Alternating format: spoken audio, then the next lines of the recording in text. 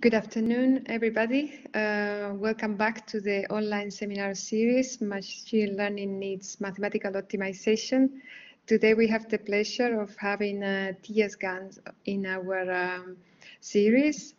So Tias has um, a PhD from the Katholieke Universiteit Leuven, and then uh, he moved uh, to uh, the Vrije Universiteit from Brussels, and then he's uh, nowadays um, um, back at um, uh, KU Leuven, where he has an ERC consolidator grant, and he's going to tell us more about uh, such a great funding from the European Union.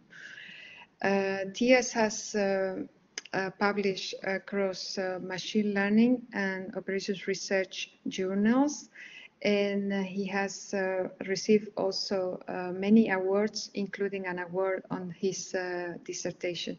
So we are very excited to hear more about his research.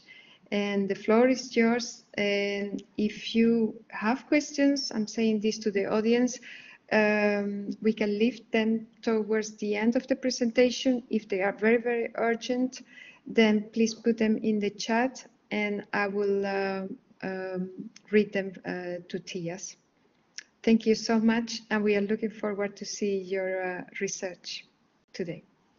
All right, well, thank you very much uh, for the invitation and for the opportunity to present our work here. So I will mostly, at the ERC grant, it, it, only started in June, so I will mostly talk about the research that led up to uh, to the, the grand goal, and then in the end, I'll, I'll say a bit what the what the grand goal of the of the new grant is. So, so in general, my research is indeed at the intersection of machine learning and combinatorial optimization, and more specifically, we look at uh, techniques for learning from user and environment. And I'll, I'll of course say a bit more about what this is. And in this presentation, I'll work, I'll present uh, joint work with both members of my team and, uh, and external collaborators. Now, I think the next slide is a bit uh, redundant uh, with this audience, uh, but so when I talk about combinatorial optimization, I of course mean uh, techniques for solving constraint optimization problems, such as vehicle routing, scheduling, configuration, uh, graph problems, and so forth. Now, if we look at a methodology that is often used uh, uh, in combinatorial optimization, then it is a model plus solve approach. And uh, then the question is, okay, where actually does this model come from? Right? Imagine a mixed integer programming formulation or a constraint program formulation. Where does this model actually come from?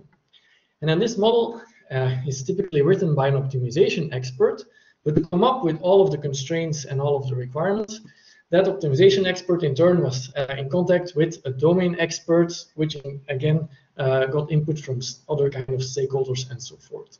And so, in a way, this this uh, this model plus solve paradigm could be seen as being very rigid and very static because the optimization expert only formulates the model once, and then typically it is assumed that uh, that all of the constraints and the objective stays the same, and only a small part of the input data changes every day. And so the question is, yeah, nowadays with AI, with machine learning, with the capturing of lots of uh, contextual data, what can we do to make to make to improve this process?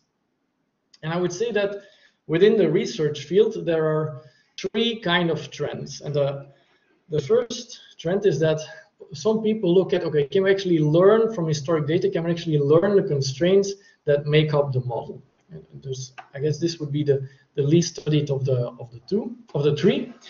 Uh, and the third one is, okay, can we actually use machine learning to improve the search and to find better kind of heuristics, machine learning guided heuristics, and other ways that can improve the solving and that can reduce the solve time. But what I, what what my uh, most of our, our research actually falls into is here is here the second category, and that is where we want to use learning, where we want to use data to learn the objective function. So to learn what the the good or the intended solutions or the intended specifications of uh, good solutions are. Now, the way that we look at many of these problems is that if you think about knowledge, eh, when you create a problem specification, if you think about the kind of knowledge that there is, there's actually two kinds of pieces of knowledge. And the first type of knowledge is explicit knowledge. And this explicit knowledge, this is knowledge that is very easy to formulate. For example, in a VRP setting, it is the number of vehicles that you have or the distances between your stops, right? So, or, or even uh, the capacities of the vehicles. So this, this, this is explicit and this is very easy to formalize.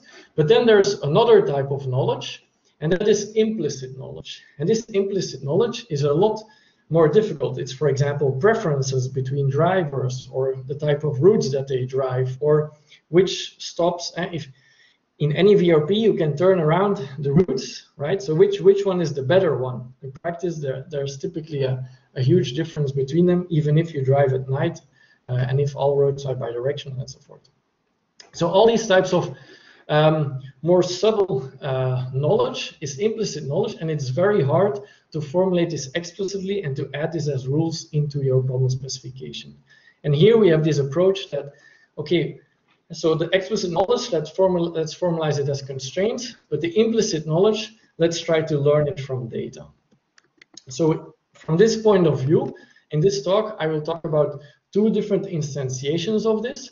And one of the one of those, the first one, is uh, is where this implicit knowledge is actually tacit knowledge about user preferences or social conventions. Okay, and I'll give some examples in a, in a few seconds. And the second type of implicit knowledge is where you solve uh, optimization problems, such as scheduling problems, in a complex environment where part of the input uh, needs to be or, or becomes better if you predict it from the environment, for example, demand, prices, defects, and so forth. But let's start with the first one. Let's start with the tacit knowledge. And there's uh, one example of this, which which you may have uh, which you may have heard about already, um, and that's the Amazon Last Mile Routing Challenge. And so this was a, a, a research challenge. Uh, there was a collaboration between Amazon as well as the MIT Center of Transportation and Logistics. And so what they say is that okay, in real life operations, in this case, it's uh, delivering packages uh, at customer locations. The quality of route is not exclusively defined by its theoretical length, duration, or cost. All right. And so in this challenge, they provided a large amount of data, more than 1,000 uh, thousand instances, where they had a list of customers that had to be visited, and they were grouped into zones. It was across a very large geographical region. And then they also provided solutions, so TSP solutions, so routes, with a label saying this was a good route, this was an average or a bad route. And this labeling here was from a driver point of view, or I think, or at least from a domain expert point of view. And so the challenge was, can you actually learn uh, what kind of routes are better, and can you use that to find these routes uh, from the go, yes, and not simply using theoretical length, duration, or cost. Now this challenge uh, was fairly recent. It concluded, I think, a few months ago. But we've been working on a similar setting uh, since 2019, but then for vehicle routing. So not for uh, TSP, not for traveling salesman problem, but for vehicle routing. And this was a, a collaboration with a with a company. It, it had only a, a, small number of vehicles. Uh, but what what what the situation that they were in is that they and they had route planners, obviously, that used route optimization software. But then the solutions that came out, they always tuned the results. They always started changing the results. And that they always had some kind of reason for it. For example, and they would say, yeah, it's better to, to offload the larger goods at the beginning of the route, but it's also better if the drivers, if they end their tours at about the same time, because then they can have a coffee together and some clients, it was better that they were visited earlier, but it was not a hard constraint. And so there, they had all of these kind of preferences that had to be traded off, and based on which that they made manual changes. And so the, the question as, as artificial intelligence researchers, the question that we ask there is that, can we, instead of eliciting all of these preferences and adding them to the objective function and, and hand tuning this, can we actually use machine learning to learn what some of these hidden preferences are so that the number of changes that they need to make to these routes becomes smaller? Yeah, so that they or even zero but in practice just smaller before they send it to the GPSs of the drivers. And if you would succeed it will actually ideally be adaptable to changes over time now, a first uh, uh, side note here is that this is actually small data, and within this setting, it will always be, uh, because in this case, we had six months of data, which from an operational perspective is actually quite a lot. But six months of data is just 26 weeks. And that's just 130 weekdays. So they, they drove out once per day, actually per night. So it's all from machine learning point of view, it's only 130 instances. But from an operational point of view, it's already half a year, right? So that, that's uh, to be taken into account um, in the techniques. Now, in our initial work, uh, we actually, because I did my PhD in data mining. You didn't mention this, but, uh, but so I have a background in data mining. And in data mining, uh, there's uh, a large number of literature in the mobility mining uh, literature on, for example, driver turn prediction or predicting the stop location and so forth. And so, and so this was about single vehicles. For a single vehicle, they learned to predict where a truck would be going or what its destination was. And they often use Markov models, Markov techniques for that.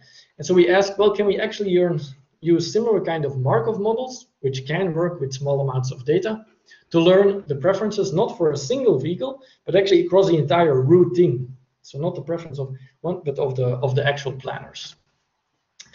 And if so, can we optimize over them? Because uh, the, the, this was a vehicle routing problem with side constraints, so we wanted to be able to put it into the solver uh, that would continue to respect the side constraints. And so uh, one of the one of the key ideas is that we actually want to estimate the probability that a certain routing, so across all of the vehicles, is going to be preferred. Yeah, so that, that that would be the one that the, that the planner would make by hand. And in order to make this more tractable, and we can look at a first order Markov approximation, that means that the that we estimate the probability as being the product of, well, starting at the depot, which is always the case, and then you only look at you have this Markov assessment that you only look at the current stop to determine the probability of which stop you're going to take next. So the probability of taking stop two given stop one, stop three given stop two, and so forth. And so this is a first order Markov approximation. And if you take this Markov approximation, then the challenge now remains to estimate the probabilities of these transitions. All right. Now, uh, and yeah, so the one way to, to get these probabilities is that you can use a counting-based approach. For example, we can look at how often in the historic instances um, that, uh, so from that, from client stop i to stop j, that, that arc was actually taken and divided by the number of routings in total. Um, yeah, so this is a fairly standard way, counting way to, to build such a first order Markov model. Um, and so Okay, so that, that, that's one approach that we could use. But how do we plug it into vehicle routing problem then? Well, as I said before, a key idea is to look at it instead of uh, a routing problem where we want to minimize the total distance, look at it as a routing problem where we want to maximize the likelihood of the solution. And in this first order approximation, it's this product. Now, a very standard thing to do when working with probability, that the product of these probabilities is actually the, so maximizing the product of the probabilities is the same as maximizing the sum of the log probabilities. And that means that you can actually use a standard VRP solver to maximize the probability of the route under this first order assumption by making it, instead of minimizing the distance, make it minimize the minus log probability.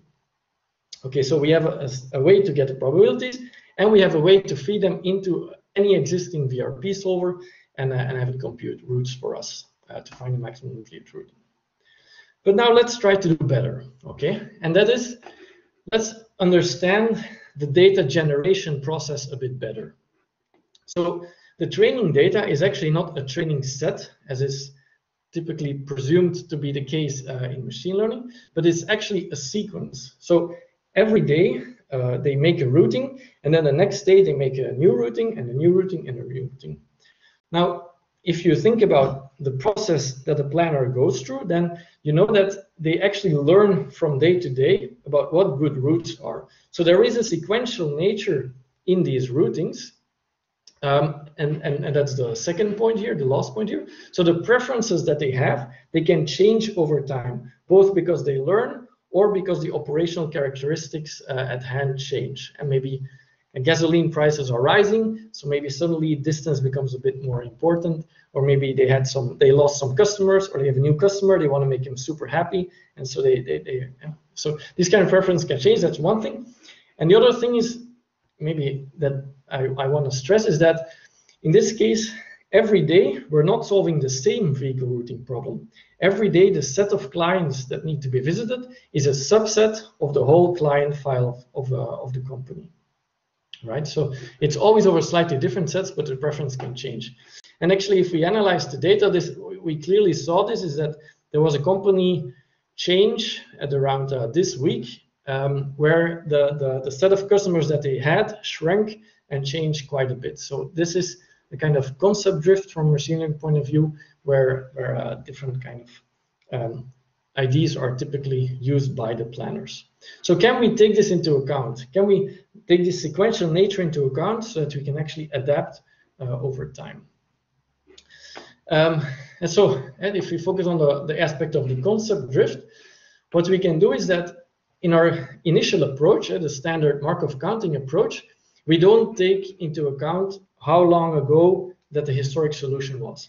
But there's actually ways that we can do this. And in machine learning, you, you look at it as being a prior for each of the historic instances. So each of the historic instances have a different prior about how likely or how important that instance should be in your learned model. And, and more mathematically, it just means that you're going to weight each of the instances. Uh, and so whether or not that arc was taken uh, is multiplied by the weight, the importance of that specific historic instance. And so some of the uh, options here are you can either use uniform weights, and that was the initial approach, or you could weight by how similar uh, the stops that you need to solve for today are to the historic instances. So the historic instances that are more similar to today would get a larger weight than the ones that are least similar, for example. Or to handle concept drift, you could sort them by time, uh, weight them by time, meaning that the more recent ones are more important or have a bigger influence on the probability than the, than the older ones.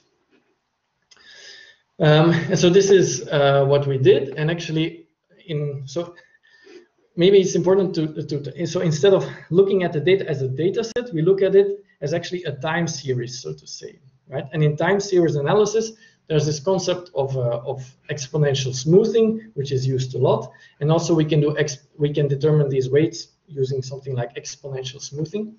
And what we saw is if we if we use our model in a sequential way, so we up to day X, we use the, the, the data that's available before it. And then the next day, we use all of the data up to the day before it. So it's like a, a sliding, an increasing backwards horizon approach. So in that case, uh, we saw that this, this weighting makes a big difference, and especially the exponential smoothing has, um, has uh, is the most uh, beneficial. So here, that's before there was this uh, concept drift uh, in, in the company data. So before it doesn't really matter because the concept is still the same. But after the set of clients is reduced, uh, the exponential smoothing algorithm is the quickest to pick up to differentiate what the old preferences are for uh, versus the new preferences. And also if we reverse this, that's the bottom line, um, exponential smoothing works very well.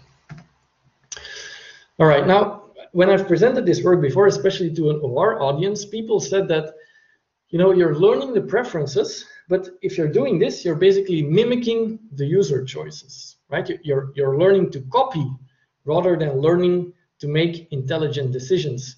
And in OR, the whole point of, uh, of, of making, uh, of using, uh, of using, yeah, solving software is to make intelligent decisions to do better than what a planner perhaps could. Yeah, so optimization software is meant to do better than the user. And why? Because it can consider more, uh, more candidates and resolve conflicts and so forth. And so actually, if you talk to these planners, then they typically have a reason behind what they say, and they do keep the, the total distance into account. For example, they say that I prefer route X, even if it's two kilometers longer. So we notice that they, internally they keep trading off these their kind of preferences that they have with the impact it has on kilometers. And so in practice, what we actually recommend and did was we we made we took a, a, a linear combination of uh, both the the preferences that we learn and the distances uh, from the distance matrix. Okay, this this gave the best results.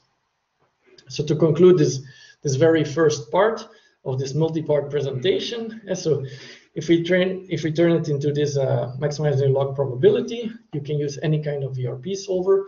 And with the exponential smoothing, it's actually uh, better than, than other types of approaches. Now this is already from 2019. So we've uh, since then we've also looked at whether we could use neural networks for this because we like them and because it's trendy and lots of other reasons, but it's challenging, okay? And some of the challenges are that if even if we if we stick to our first order Markov assumptions, we would need a network that predicts n times n preferences, right? Because you know it's in our preference matrix we have okay if you're at stop i what's the chance that it will go to the first stop or to the second or the third or the fourth okay so you would need n times n, n times n outputs, which is a lot of outputs. I mean, it's not a problem, right? It's just, it's quite a bit. Another challenge is what kind of input representation would you use? And so there's a different number of stops every day. So how do you encode this variable amount of stops? But you also want to use the you also want to use the distance information because that's still a basis uh, for making decisions. So you need to encode at least n times n distances. And you, we know that the Exponential smoothing, for example, works really well. So you also want to encode all of the historic instances into this neural network. And then uh, what loss function to use is also a question, but the, the main point about this one is that there's only very few data available. So if you would just put a fully connected network on all of on all of the historic data and make it output n times n predictions, you're going to overfit massively and it actually performs really bad. And we know because we tried it. Okay, so how can we do better? Well, the first key idea is, well, we want to we want to have a network with fewer amounts of parameters, so let's do parameter sharing. And the simplest form of parameter sharing is just to share an entire subblock of the network. That's, that's to say, more specifically, we're going to learn one individual network, and this network, we're going to apply it on every source stop. So this network for a source stop would predict the probability to each of the other possible destination stops. Okay, so now we don't need a network that predicts n times n outputs. We just need one network that predicts n outputs, and we're going to apply it to each of the stops, and actually only the relevant stops, so that's an added benefit. Okay, so parameter sharing, single network uh, of, of, with length and output that we can apply on each of the stops. The second key idea is to use a domain-specific architecture. So you want to encode all of the distances and the historic information, but a simple approach would lead to too many parameters. And actually, we tried a lot of things, and then we said, okay, no, this doesn't work. Let's take a step back, and let's look again at what worked well in our previous work. And in our previous work, we actually took a linear combination of the preferences that we learned, that is this, this Markov um, exponential smoothed Markov counting, and the distances. And within neural networks, there's a, a, a stream of thought called unfolding, where you actually look at the existing mathematical and formulate them as a neural network. So you can do the same here, and it's very simple. Is was somebody saying something? No. Okay. So this is how, how you can express the exact same uh, the exact same formula, but then as a neural network. Namely, you take the Markov probability, uh, for example, the log probability, you combine them in a linear layer, and then you make it out, and it will output a value for each of the for each of the destination stops. You put a softmax on it, and then you have predictions for each of the destination stops. Now, if you share this linear layer across that dimension, you have exactly this setup. So and you can and you would have just two coefficients here and they could be rewritten to beta. So that's kind of the simplest possible neural network that you can construct. And i can guarantee you it does not overfit. It basically just trains the beta parameter that's best given the data available if you have a suitable loss function. Now of course and so this this started uh, working fairly well. So we uh, the real goal was to include contextual features. And for example the, the Markov counting approach can take into account what day of the week it is. But we know that what day of the week it is can have an effect, but also what the other stops are. Um, and so the, the final kind of architecture that we used, uh, it used embedding layers for the stops, and so the variable size number of stops, and for the weekdays, so it can yeah, learn its own embedding. Uh, all of that combined in a layer, and then uh, a softmax on top. So that's actually a, a fairly good approach. Um, I haven't said anything about the loss function yet. I don't have too much time for it, but uh, I think a very nice observation is that you can actually use a classification loss in this case. So as I said, the network takes a source node and all kinds of contextual information to account, and it will make a prediction for each of the possible destination nodes. And one of those source destination pairs will be the true one, will be the, the preferred one in that historic solution. As you can actually see that as a multi as a multi-class classification problem, And you can use an existing multi-class classification loss, uh, such as negative log likelihood, and that's actually a, a good proxy uh, for the arc difference, which is the number of changes that the planner has to do to turn your solution into the one that he prefers. And so uh, if you look at different kinds of measures, and so the, the previous approach was fairly good, but with our neural network, if we uh, at least removed one part of it, we were able to do slightly better. And, and it, this is much better than, than using a distance-based approach. Uh, and another nice point, and so this is some evaluation of, uh, of quality, you can say. But what's also nice is that this with this neural network, it learned to trade off the preference versus the distance a bit more. And so this is the, the very smallest distance that you could get. This is the one if we use the pure Markov approach and the neural net and better satisfies the preferences. That's what these numbers say. But it also is a sharp, uh, slightly shorter tour uh, than, than this one. So for details, I have to refer you to the paper, which will be presented in two weeks. Okay, and so that's a, that's a first example of implicit knowledge that we can learn from data. Now the second example, so it's time for end-to-end -end learning. So what, what we did up to now is we, we learned the preferences purely based on the data up front, and then we solved in a second phase. But we're now going to look at techniques uh, um, that do the both at the same time and why they need to do that. So again, a, a bit of a, a, motivating example or the problem setting uh, that we are looking at here. So it's called in literature, for example, prediction plus optimization, sometimes called decision-focused learning. And the key idea is that you have part of the input. Let's say that that that your uh, optimization problem is a scheduling problem, and part of your input needs to be inferred from historic data. For example, you want to solve a scheduling problem and you want to minimize total energy consumption, uh, total energy cost, not consumption, total energy cost. But eh, if, you, if you're a large enough industrial player, you actually don't know what the energy prices are going to be. So you need to predict them upfront on, on the in the day ahead market, so to say. So for each of the coming hours, you will need to predict what the energy price is going to be at that hour. And then you're going to solve a scheduling problem over this full batch. So for the coming day, so for the full set of predictions, you're going to solve a scheduling problem uh, in the hope that it uh, that it minimizes the total effective cost. So a key characteristic is that the prediction is doing multi-output prediction. So it's it's predicting for every of the of the coming 24 hours of the next day. It's making one prediction for every individual hour. So you have 24 predictions.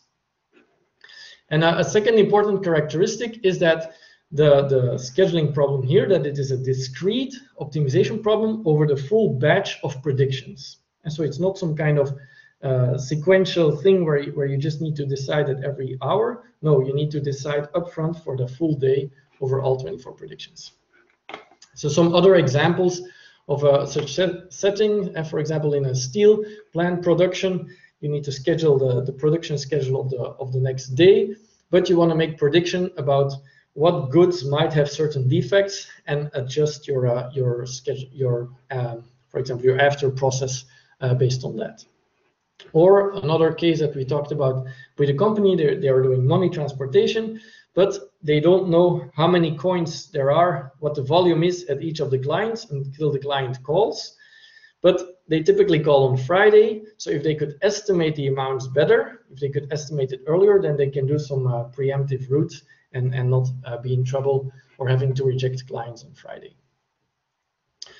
Okay, so right, uh, if we could apply the same kind of um, kind of approach as in the previous part of the session, namely we use some kind of machine learning technique to learn and to predict each of the, for example, energy prices, uh, and then feed that into a MIP solver as if these were the, the real prices and get a solution. Now, of course, and we've tried that, and, and many others, actually, this is often used in practice also. But if we look at um, if we look at uh, at at at, uh, at what happens is that this is a typical example where in green it's plotted what the mean square error is, and so you see that as you train the network, the mean square error continues to decrease. That's a good thing, but the regret, and that is the regret here is the cost that you pay when you actually would execute the schedule coming out of the optimization. So this is the task loss the, the cost that you have after solving and executing the, the schedule increases. And you might say, yeah, but this is a typical kind of graph uh, that, that represents overfitting, but this is not about overfitting because this graph is plotted on the, on the test data, so on unseen data. Now what is going on here is that the mean square error loss function eh, is actually not informative enough. So it's not a good proxy for the task loss, for the effect that the, that the errors of the prediction have on the optimization for the regret. And another way to think about this is that, as I said, this is a multi-output prediction problem. So our predictions are a vector of prediction. Now, mean square error, what does it do? It averages the, the individual errors of the entire vector, right? And it does this the same way for all of them, so uniformly across all of the predictions. But if you think about what the what the scheduling is doing, what the mixed integer programming here is doing, is that it's doing joint inference. It's trading off the different kind of predictions and making its decisions based on that. And so that means because it is a joint inference, that actually it has a joint error, or in other words, some errors are worse than others. And the mean square error doesn't capture which of the errors is worse than the others. And, and so if you if you listen to his explanation, you'll probably say, "Oh, let's just find out which ones are uh, are are the worst ones and which errors matter most." And that's where the it becomes really tricky, because which errors are worse is determined by the combinatorial optimization. So it is a combinatorial problem. It will be those for certain values, but it will be those for other values. And so you actually need to call the solver to know, given that input, what, what elements uh, actually have an effect on each other. And so that means that uh, we, we cannot take shortcuts and we have to we have to somehow be able to use regret, and so the output at the, error after optimization as a loss function and do that in an end-to-end -end kind of training way. But this is a very challenging problem for multiple reasons. And the argmin here, so solving it for one just one instance uh, is actually, so if you, given the predictions, so V here is the predictions. So uh, C, C, the cost factor, C is the predictions. So given the prediction C, it could be that there are multiple solutions that are optimal. Uh, this is one of the smaller problems, but still important. Uh, another problem is that the full possible set of solutions is implicit and it's actually exponentially sized. So although this is an argmin, you cannot use a softmax. What you typically do in machine learning, if you have a maximization problem, you take a softmax, but because it's over an exponentially sized number of problems, this is impossible. And computationally, just computing this argmin means solving a scheduling problem or solving some other kind of mixed integer programming or constraint programming problem. And so it may be NP hard. All right. So it's it's a really fascinating problem. Uh, and in the last uh, number of years, uh, people have looked at it with really interesting uh, results at the combination of the two research fields. So I'll highlight a few. And the first one is that let's maybe formalize it a bit more. So the, the thing that we really want to minimize is we want to find the network parameters, assuming a neural network, and the network parameters such that the regret, that means calling the optimization given the predicted cost factors, versus using the true cost factor, that should be minimized. Okay, and you can formulate this as a bi-level optimization problem, And so you want to minimize network parameters. You have n examples. You really want to minimize the regret, but to compute the regret, you need to solve uh, the optimization problem. Okay, and so the, these challenges uh, remain, and, and actually there's no explicit gradient that you could use uh, in mixing uh, if you want to do gradient descent-based learning either. But as given that it's a bi-level optimization problem, you might say, okay, let's do bi-level optimization. Okay, now even if you assume that f is linear and that v, so the set of all possible solutions, is continuous, so that means that this argmin problem would correspond to solving a linear programming problem, you still have the case that the solution is not unique. And so the solution is an element of argmin, it's not unique. And that means that you need to add another assumption. Typically, you have two options. The, the pessimistic assumption assumes that argmin, if there are multiple equivalent solutions, will return the worst. But that means that formulating this explicitly uh, becomes a tri-level problem, which is even uh, less attainable. And if you take an optimistic assumption, so that means that if there are multiple equivalent uh, solutions, you take the best one. If you do that, then the machine learning model will be smarter than you are, and it will start predicting uh, it will start predicting solutions that are supposedly equivalent, and so it will, will misuse this optimistic uh, um, oracle. Now, in a, um, I think one, one of the most, one of the nicest pieces of work that has emerged in the recent years, and it was released on arXiv in 2017 and uh, accepted in uh, management science in 2021, is that of the smart predict plus optimize loss by Elmachtoub and Grigas.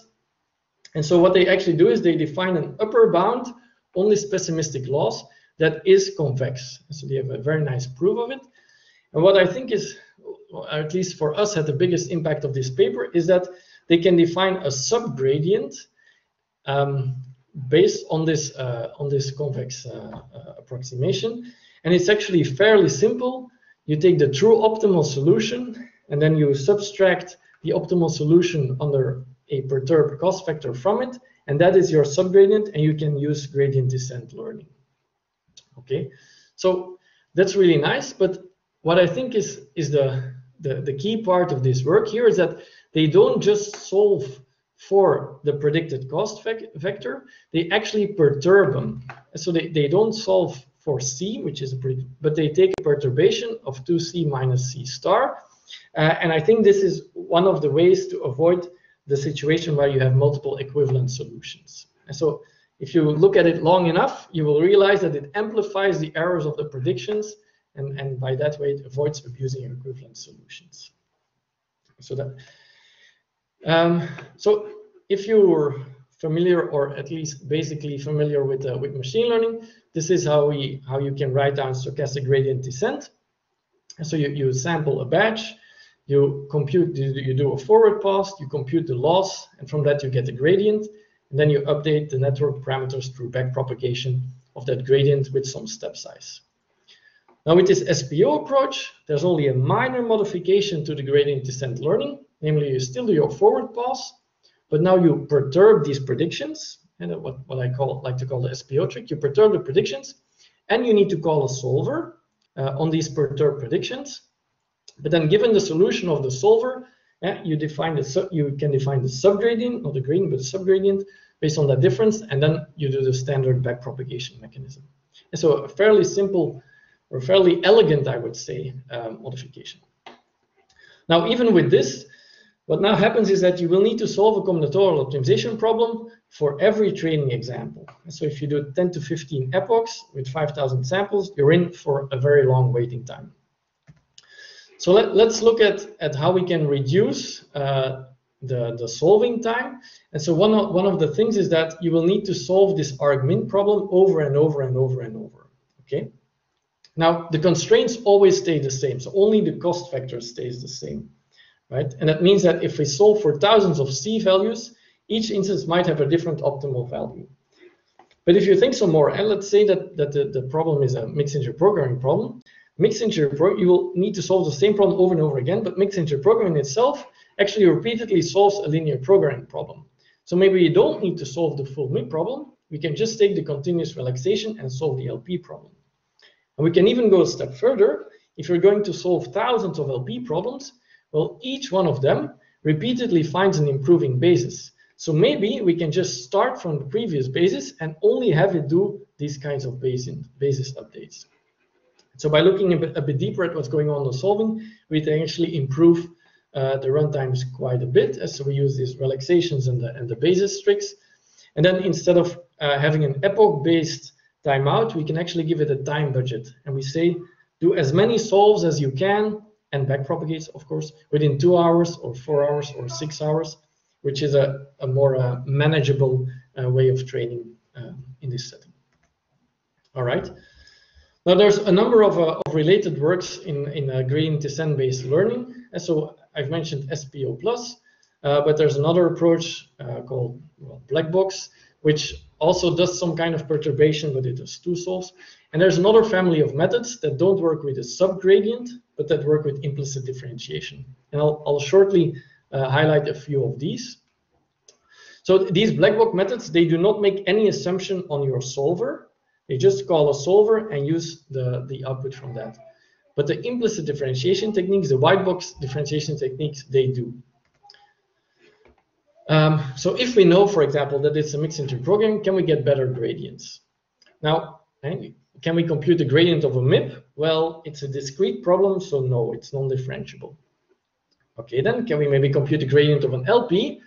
Well, it's a linear objective, so you can take the first derivative, but you can't, and the second derivative will be zero, so it's not invertible, so it actually won't be usable uh, in your gradient descent-based learning either. But uh, what, what if you would have a quadratic program? In that case, yes, there's a very nice result also from 2017 from Amos and Kolter that, that show how to do implicit differentiation over QPs. And so this is a standard formulation of a quadratic program. You can take the uh, Lagrangian relaxation from that, and then you can actually differentiate the KKT conditions. I'm not going to go into the detail, but I think it's a beautiful paper, and they show how to get the gradients from a quadratic program that you can then use uh, for gradient descent-based learning. And so um, at uh, AAAI 20, you have uh, these authors that actually made this observation. Okay, so you can use you can do it for quadratic programs, but not for linear programs. So let's make a linear program a quadratic program by adding a quadratic penalty. And then we can use the same kind of techniques. And so actually, there's much more in the paper, of course, but that's the, the core idea, and it worked. Okay. Now, when we were looking at this, we were wondering why do we actually why do, would we actually add some kind of rather arbitrary uh, quadratic penalty like uh, 2 norm squared of x? If you think about the kind of solver that you can use for mix, and you have you have uh, simplex-based or you have interior point-based methods. But interior point-based methods, they actually have been using gradients and steps um, in the gradient direction of a linear program for many, many types of years. And so we started uh, to, to dive a bit deeper into this. And what, what the interior point solvers do is they actually add uh, the logarithmic barrier, uh, a famous concept. So they don't add this arbitrary x squared, but they add um, the log of the x's eh, because it implicitly enforces that x has to be positive. Now this is still twice differentiable, uh, this still has twice differentiable KKT conditions. And another added benefit is that you don't need to set the gamma parameter up front, but interior point solving itself actually will um, gradually reduce the lambda parameter. So it's a, it's a more uh, principled way. And actually, we can integrate this into an end-to-end -end kind of uh, approach. As so we take the predictions, even if it's a discrete, uh, so an ILP, we can relax it to an LP. Then if we look at what these, uh, these interior point solver methods do is they actually solve the homogeneous self-dual embedding. Uh, they do lots of Newton steps, decrease the gamma and so forth. And we can actually stop at some point and then compute the task loss from this. So here we would differentiate this homogeneous self-dual embedding and get the gradient from that. And this works uh, really well. And so we did a, a, comparison. And do we differentiate the KKT conditions or do, do we differentiate the more stable uh, uh, formulation that's used in these interior point solvers? It's actually better to do the latter. And then we also compared to SPO, for example, and to the quadratic programming approach. All right, and so this was presented at NeurIPS law. We presented it at NeurIPS last year. All right. Now, Yeah, so far so good. I still want to highlight one. I know I still want to highlight one kind of technique, which is a very different kind of technique, but also very elegant. So the, the previous approach was very operations research uh, centered, but we also had a, a very machine learning uh, centered look at this. And here we looked at the, the, the challenge that V, so the set of all solutions, is actually implicit and exponentially sized. Now, in machine learning, there's actually a large number of problems where the, the number of output classes is huge. And so in our case, it's the exponential number of all possible solutions.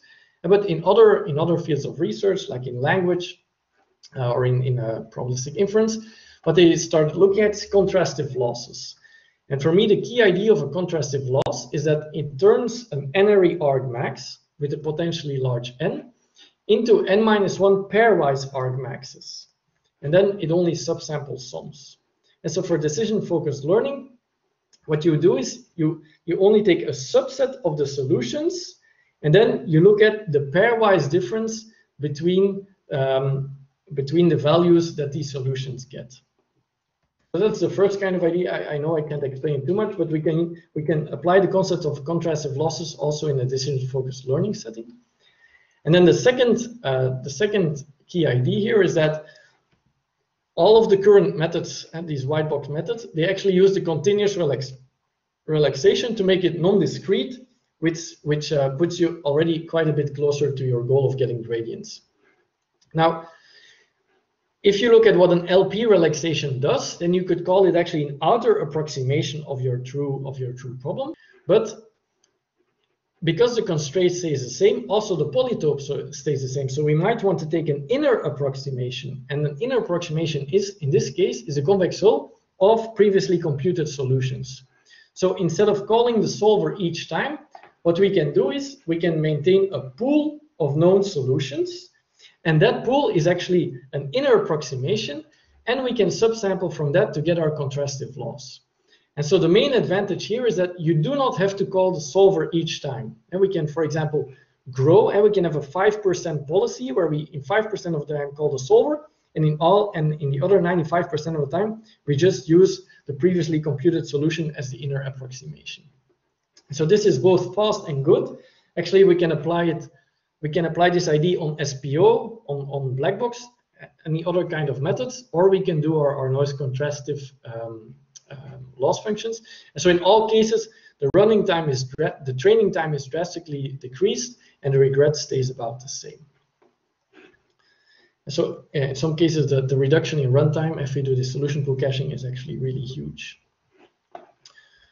Okay, all right, so let's uh, let's wrap up here. And so the, the key idea of a lot of what we do is this difference between explicit and implicit knowledge, where we use a solver for the explicit knowledge and we do learning for the implicit knowledge. In many cases, that means that the problem will become a maximum li likelihood kind of uh, maximization problem. And it's, it's very good to keep going back to both the machine learning and the solving side uh, because they both typically can be improved. And so actually this end-to-end -end prediction plus optimization is starting to become possible. Uh, even runtime now can be controlled. Lots of future work. So I was going to shortly say something about uh, uh this ERC project. So in this ERC project, that I have. It's a five-year project, um, and it's about conversational human-aware technology for optimization. So the vision here is that we're starting to make solvers that learn from that can learn from the user and that can learn from the environment. So if we push this further, then the kind of thing that ideally I believe that we would want is a solver that can learn from us, but that we can also talk to, that we can converse to, and for example, ask for explanations or let it be stateful with the kind of interactions that you have.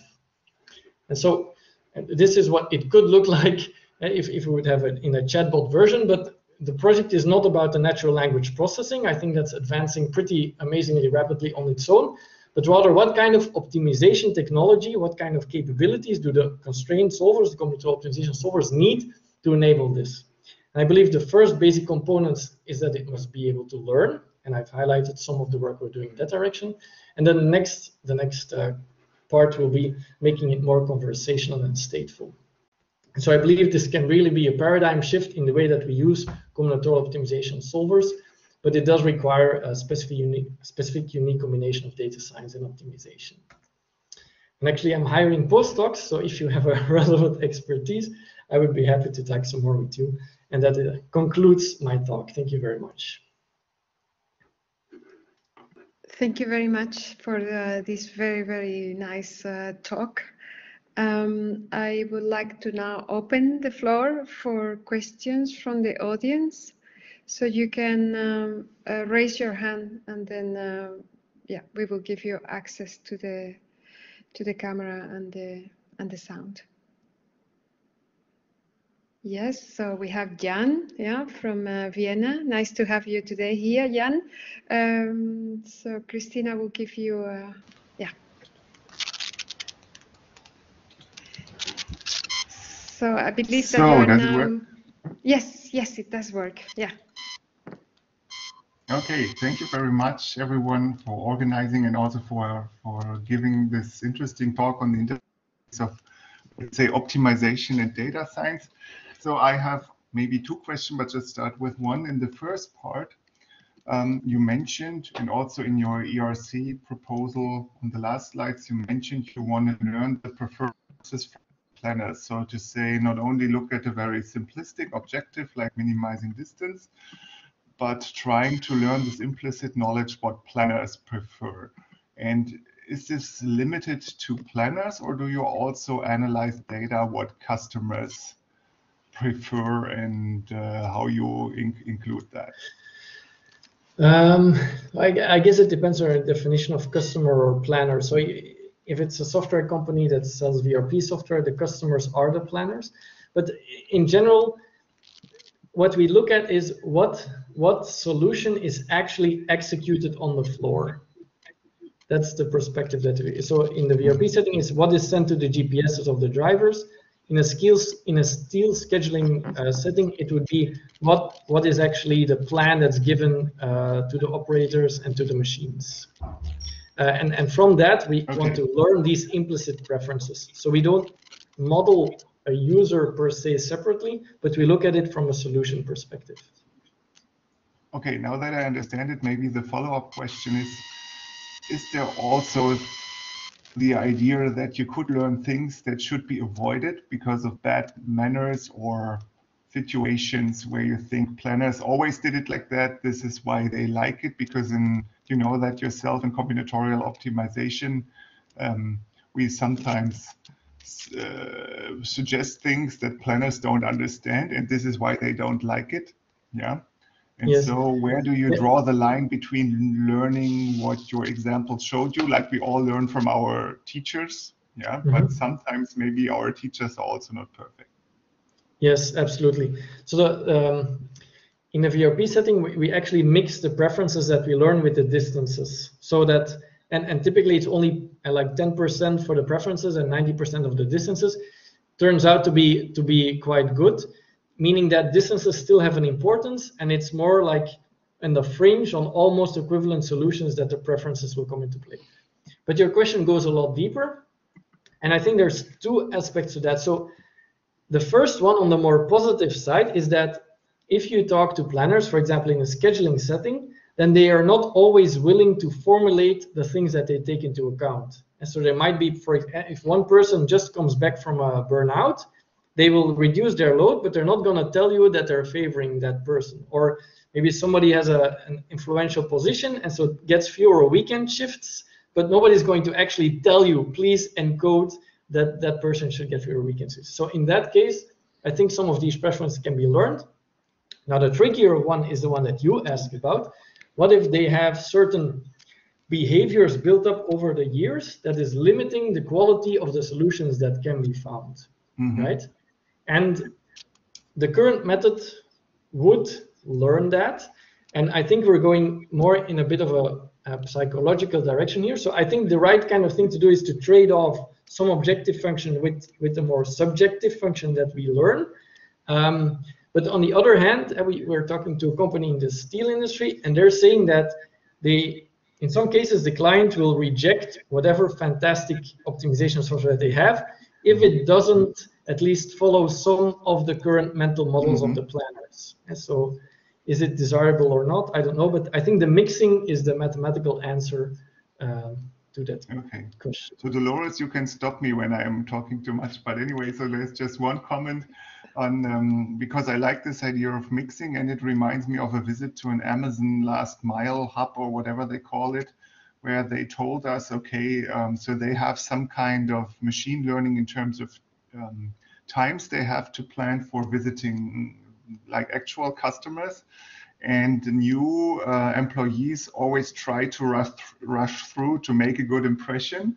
And the old colleagues tell the new colleagues don't be so fast. The machine learning or our computer will learn how fast you are and you can't do that all your working life. Yeah.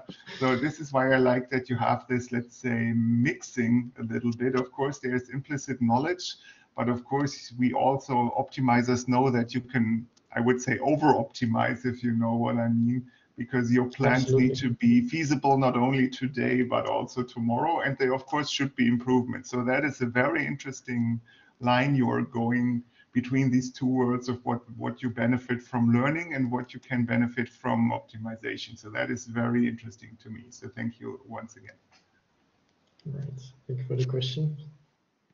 Thank you, Jan, very much. Um, do we have any other question from the audience? And as I said, if you raise your hand, then we will um, yeah, unmute you and you will be able to share the camera.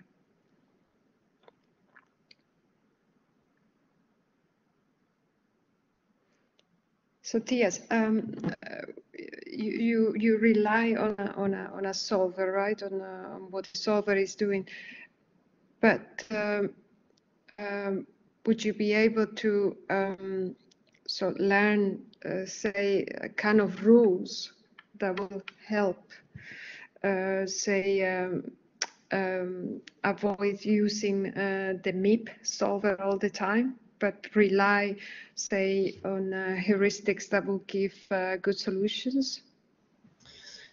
Yeah, so that's more in the direction of uh, learning to solve. Huh? So learning heuristics that guide the solver, or like a, a meta heuristic solver, for example, to the right solution. Um, there is something in the middle though. So it, what what we see is that if we, in the VRP case, if we solve over the distance matrix and we use an exact solver, as you know, and scalability can be limited. But if we learn these probabilities, and so they are automatically between zero and one, and if we add in the preferences that we learn, then the solution becomes, uh, not the solution, sorry, the, the distance matrix or the probability becomes a lot more sparser. So it kind Yeah. of like pushes things closer to one and closer to zero. And because of this sparsity, actually the solver becomes a lot faster as well. So it we our work is not focused on making the solver faster or guiding it to the right solution, but we do see that from this probabilistic point of view, it kind of sparsifies the matrix and, and it does uh, increase or decrease runtime. Yeah, I, I was not necessarily trying to do, but I, I like what you said about the sparsity because that that's something that we work a lot on. Um, um, it's not necessarily making the solver uh, uh, faster, but you know, find you know certain rules that would allow me to say, well, I can construct the solution following these rules, and that actually that's not very far away. But I, I guess that's what you are saying that if I have this uh, sparsity in the distance matrix, uh, maybe it's uh, I could go for um, you know trying Yeah. to define those rules with sparsity. Yeah, thank you. So in learning to solve, you can imagine that they also learn this kind of probability function, but then the idea is that you, if you just use some greedy algorithm to make choices, that you find a solution quickly. So yeah, but so we don't. I understand the point of view, and there might be connections, uh, but in, we often assume that you have other hard constraints, although they could be encoded eh, if you yeah. So it's, No, uh, no, no, yeah, yeah, yeah. If you have uh, more constraints that you wa- want to implement, of course, you, you, you yeah, uh, those rules may not work. Yeah. Mm. Thank you. Um, I have uh, a question from Belen, uh, so we will uh, unmute you and um, you can share your screen also.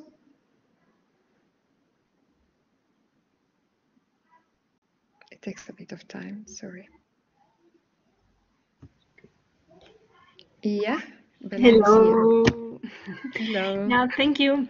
thank you for the talk. It's really very uh, interesting, and it's amazing how many you know techniques on how deep you know all the techniques in both sides, uh, the optimization and also the the mm, the machine learning. So the broad knowledge of both things is very very nice, and now, the way you combine them. Thank you for that. Just to mm, you know follow up mm, the talk about the VRP uh, problem that you presented. I, I wonder like at the beginning you started with this assumption of the you know the the Markov chain basically like you know one you know especially yes. with like just depending on the on the next step. Mm, yeah. Is that uh, very important in kind of like the the whole thing does make a big impact if it that's not the case? Um, so we we took that assumption because we wanted the objective to be the standard combination of arc costs. So we wanted to learn mm -hmm. something at the arc level. And so we actually have also uh, learned a second order model but then it doesn't become a linear objective, but a quadratic objective. So you need to use quadratic programming solvers, and that slows down the solution approach up to a point that you sometimes don't find the right kind of solution. And so even though your probabilistic model becomes finer grained, using it in a solver becomes much more difficult. So you, you think you win at the probabilistic level, but you actually lose at the inference level and on the whole pipeline. At least in, in the work that we're doing where we have these hard constraints. Uh, that's one thing. And then one part of our motivation of using the neural networks is that even though the output is at the level uh, of pairwise uh, preferences, eh, actually the input we can we can give it the full set of stops.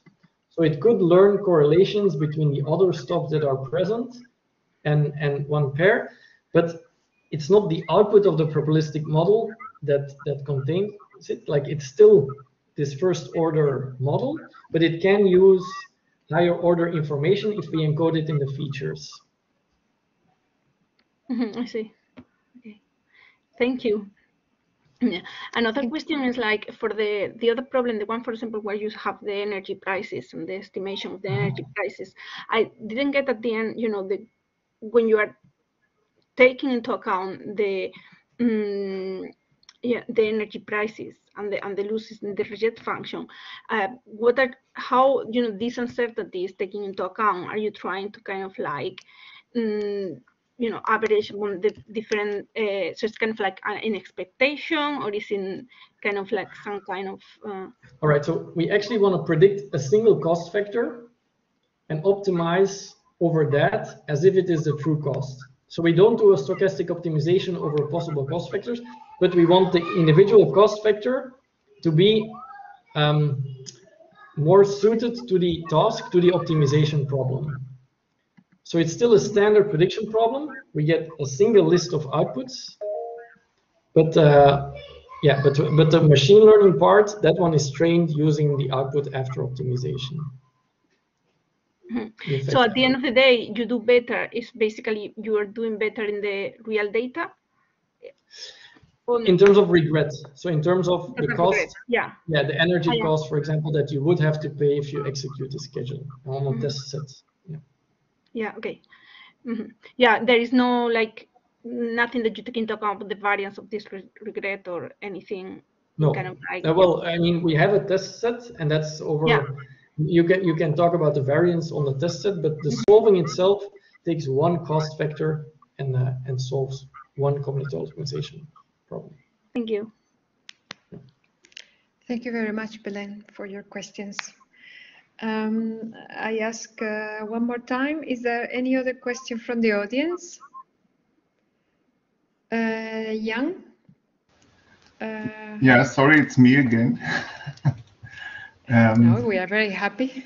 Um, maybe a, a, quick one. So you, especially in the first part, you mentioned those metrics for example, I, I, forgot what the name of the metric was, how the solution changes or is different from what yes. the planner prefers. Yeah. Yeah. So arc distance and uh, and the route yeah. dis arc difference and route difference.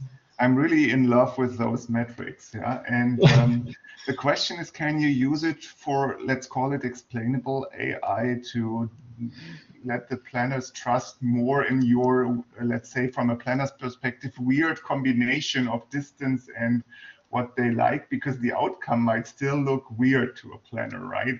If you're mixing it, whatever percentage is it, it is, yeah.